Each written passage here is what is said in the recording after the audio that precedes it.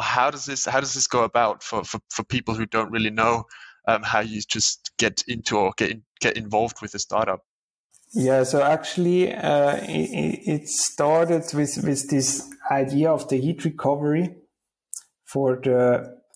uh, two-step uh, redox cycle, and then then I, I got involved in this, and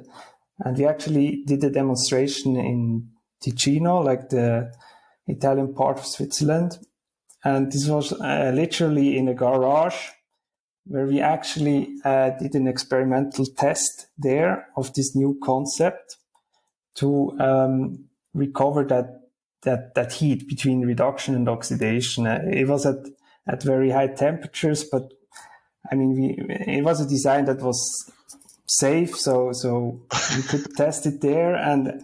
and this was actually the the first project of Synhelion